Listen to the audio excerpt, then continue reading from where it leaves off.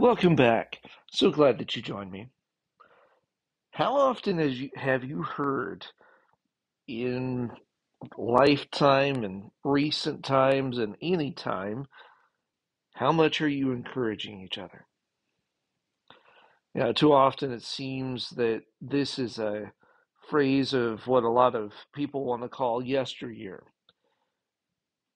In the times that we're living in, it seems that we're so focused on what we're doing, on what we're achieving, but we're not focused anymore on trying to help those around us.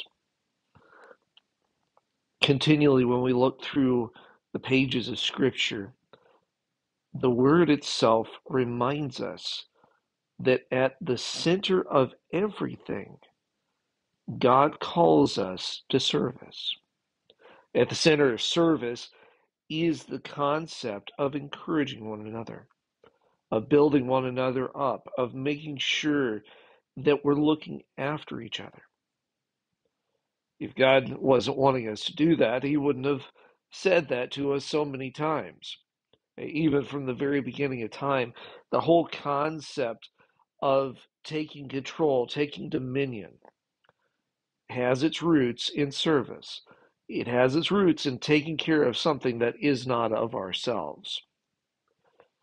That's not natural to us today because of the very fact that our human nature has become so carnal that the first thing that we think of, especially when we get up, is ourselves and what we are going to do to better ourselves in this moment and through continual moments it's time for us to look at things differently, to make sure that we're focused differently as well.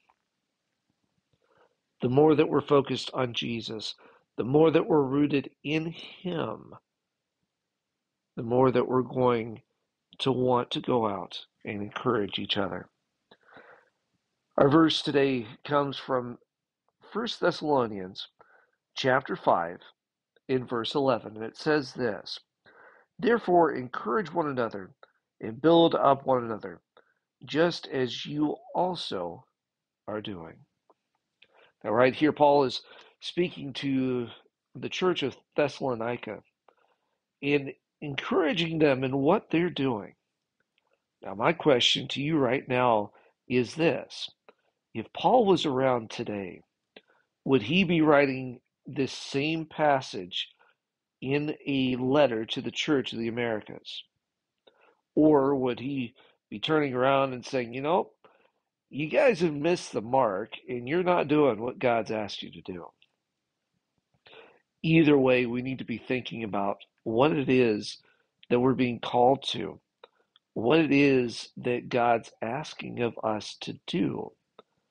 But even more than that, how we can go out and be of service, of being a better encouragement to those around us, so that as others see us, they're not seeing us, they're seeing Jesus flowing through us. And as they're touched by His Spirit, they're changed by what we're doing together.